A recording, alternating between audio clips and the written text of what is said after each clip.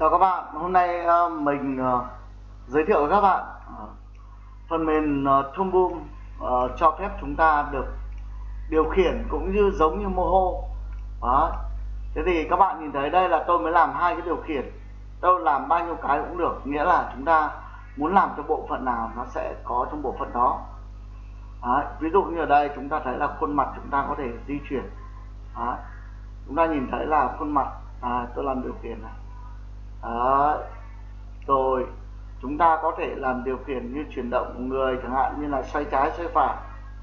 Đó. ví dụ như đến đây thì chúng ta nhìn thấy đó chúng ta có thể xoay trái phải vân vân. Đây tôi làm mới có ba tư thế.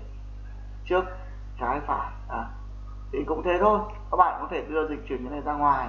À, các bạn làm uh, thoải mái. Ví dụ như là chuyển động tay chẳng hạn ví dụ chuyển động tay chẳng hạn. Thế thì uh, chân rồi người cơ thể chúng ta cũng có thể làm được cho nó quay đó.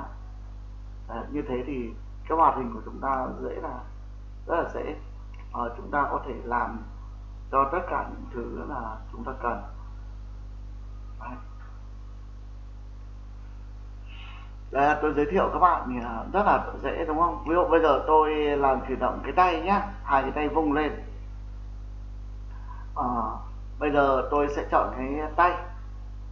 Để chọn cái tay thì uh, tôi uh, cho cái điều khiển à, cho cái uh, chốt của nó vào chỗ vị trí cái tay, chỉ cái tay. Đấy. Thế sau đó thì chúng ta nhớ là ở cái hoàn cảnh nào thì chúng ta điều khiển hoàn cảnh đó ví dụ các bạn quay thì các bạn không thể điều khiển tay mà vung lên được thì nó lại là điều khiển ở phần tay khác. Thế còn ở đây thì các bạn sẽ sử dụng cái này để các bạn uh, in cho nó một cái bàn tay. Rồi tôi jigging các bạn nhìn thấy là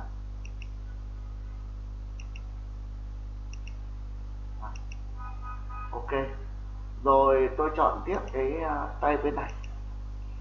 Tôi cũng jigging cho nó. À thế còn cái thao tác nối của các khớp thì tôi đã nói ở bài trước rồi. Đấy, nối ở bài trước. Thì các bạn chú ý nhé ở này ở phần à, này chúng ta sẽ chọn cho tôi ở cái phần tay.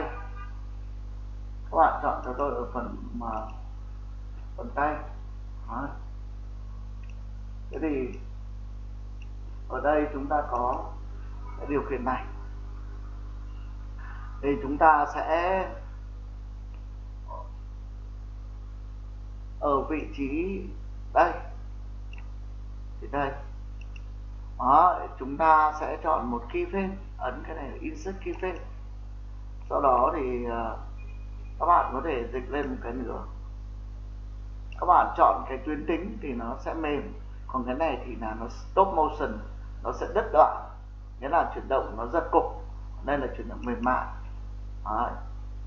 thì chúng ta sẽ cho nó xuống nhà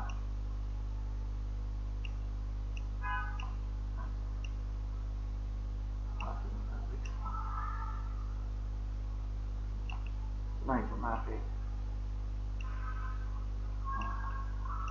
mỗi một lần mà chúng ta chuyển động những cái gì đấy thì nó sẽ xuống đó. rồi sau đó thì chúng ta lại tiếp tục lên đây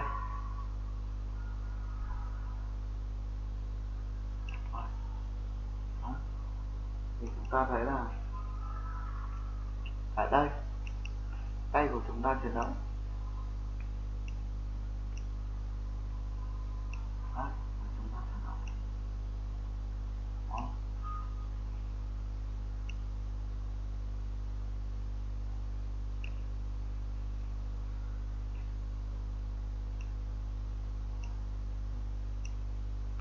Mỗi lần tôi ờ, thì cái tay này nó đã ghi lại ghi lại cái phần này.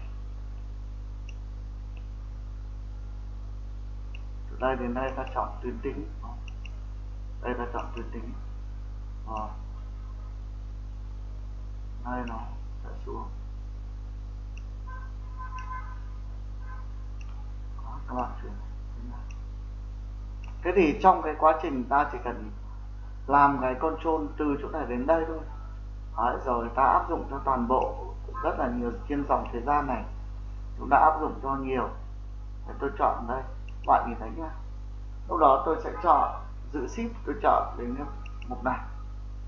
Đấy, là cái vai vai của chúng ta. Đấy.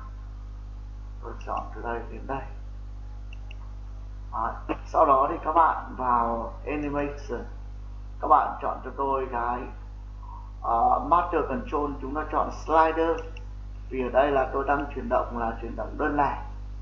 À, khi nào cái mặt ta sẽ dùng quay bốn phía lên xuống thì chúng ta dùng chuyển động uh, controller lưới. Ở đây tôi gọi là tay điều khiển tay.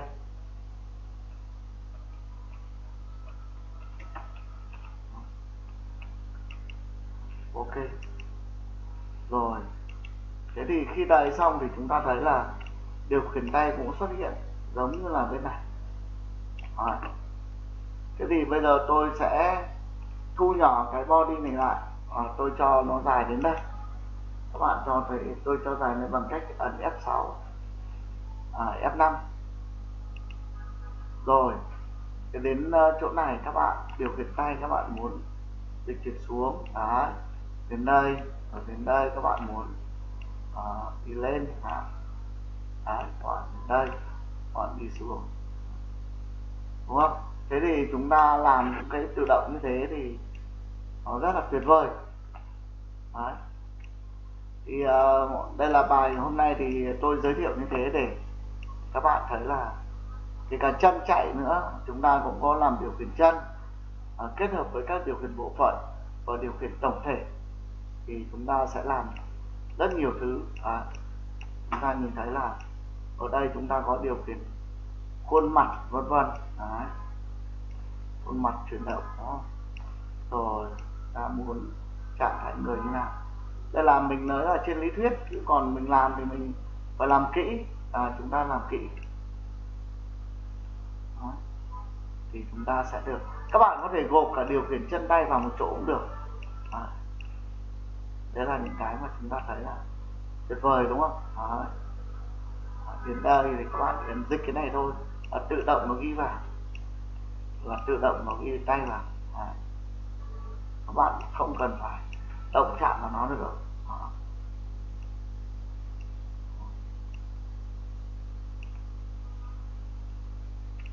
các bạn thấy là rất tuyệt vời các kết hợp rất nhiều công cụ nhé để để chúng ta làm những cái hoạt hình nó hay hơn. Ví dụ như đây là các động tác múa hay tập thể dục. À hoặc là chúng ta có thể cho nó nhảy lên hạ xuống. Làm điều khiển người lên xuống nữa. Đấy là tôi nói như thế. Nên mà uh, cái bài uh, đây là tôi giới thiệu còn bài sau tôi sẽ dạy kỹ. Các bạn chú ý là đón xem thì chúng ta hành động theo đúng như vậy. Đấy các bạn nhìn thấy khuôn mặt này. Đó. quay uh, ngẩng lên ngẩng xuống. Đó lên trên này đi xuống này vân vân để là mình có thể làm được. Tóc bay quần áo bay vân vân. Thì đây là chúng ta đã thấy là cái này giống mô hồ ý đúc. Ở cái phần này tôi uh, các bạn thấy là rất là hay nhá. Uh, bài uh, hôm nay tôi xin giới thiệu tại đến đây kết thúc. Buổi sau thì tôi sẽ làm một cái thời lượng dài hơn và kỹ hơn để các bạn cùng tham khảo. Và chúng ta áp dụng vào trong chương trình mô hôn